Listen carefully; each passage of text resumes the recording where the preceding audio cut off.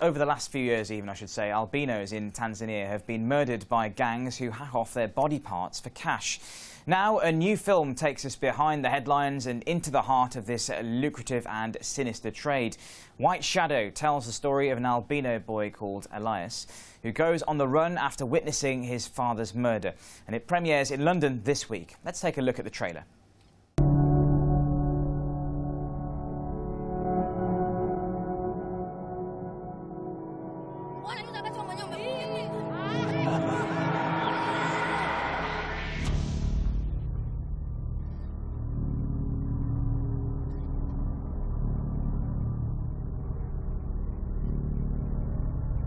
Mtu wa albino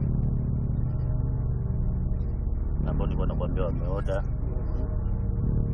Ningebadilisha yote kwa mapya na ningefungua duka langu.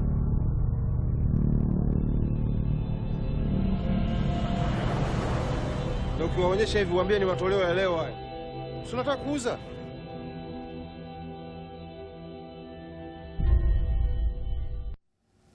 Looks great, doesn't it? Well, I'm joined now in the studio by the director, Noaz Deshe, uh, lead actor Hamisi Bazili, and James Gayo, who plays his uncle in the film. Welcome to you all. Um, Thank you. Thank you but for let's- having us. Noaz, I want to start with you first, really. How long did it take to make the film, and, and how much work was involved in it? Well, we were shooting for nine months. Uh, it started from uh, a teaching workshop in the Goethe Institute and Alliance Française. We were, a friend of mine and myself were invited to teach and um, in Dar es Salaam, and we thought, uh, well, it could be an interesting platform to stay and continue if we do our job well in the workshop. Sure. So I researched where am I going and stumbled into a BBC report by a reporter called Vicky Ntema, who caught a witch doctor on a hidden camera trying to sell her body parts of albino. Right. And this is what broke out the story to the world and took me almost by possession.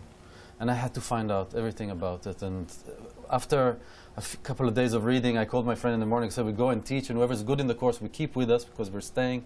We're making this film about this subject. It's going to be about this boy. The name manifested in a dream already.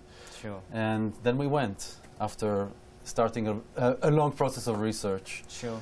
Uh, well, um, then uh, through a long process of casting, we found uh, James and Hamisi. Sure. So James and Hamisi, then, how, how much do you know about the real context of what's happening in Tanzania? What, what's the sort of uh, the connection for you in this film?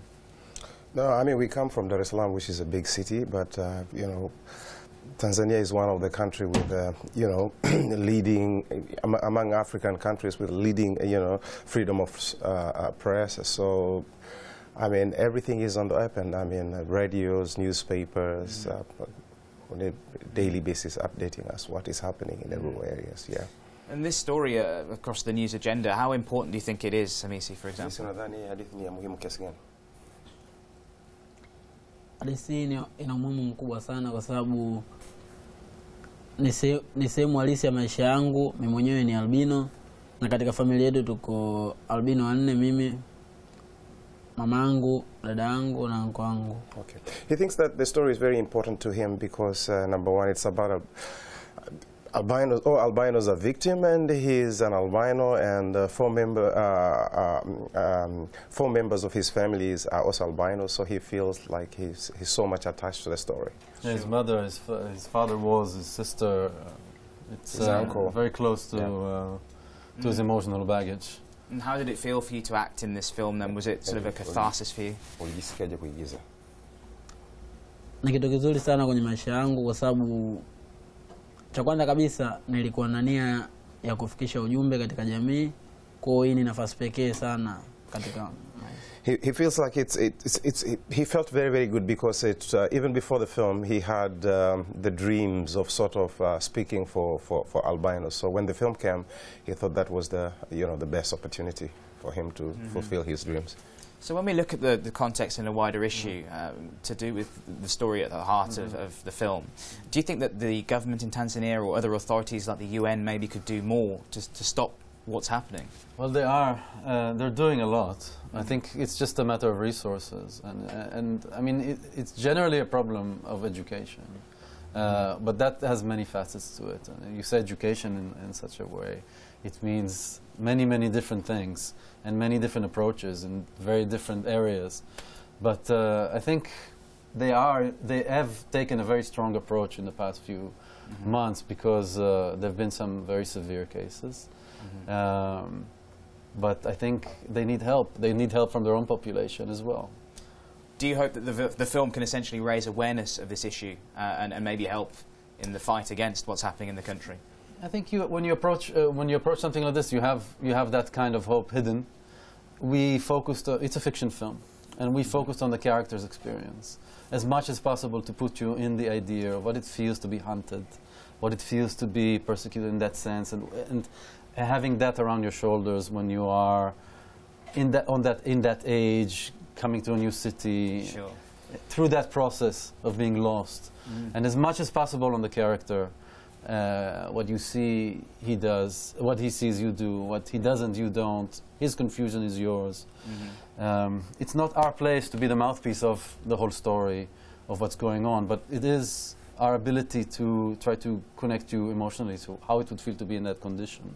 Sure. Is there hope that's, that's shi- that shines through at the end of the film as well? S- Say what? Is there hope that, that does shine through in the film? Yeah, for sure, for sure. I mean, for me, I, I- I feel, although from what um, Noaz has just said, um, to me, I, I- I think yes, the, the film um, eventually plays its, its role. I mean, the every every entity has to sort of bring their contribution, and uh, the most to, to me, if you ask me, what role will the, the, the film plays is to cause people to talk about it because we tend to shy away from you know talking um, these sensitive issues and. Uh, This film, I hope it will trigger some some big debate. Uh, now we are here. It was only a problem in, in, in Tanzania, and now we are here in England, and, and the rest of Europe now are talking about.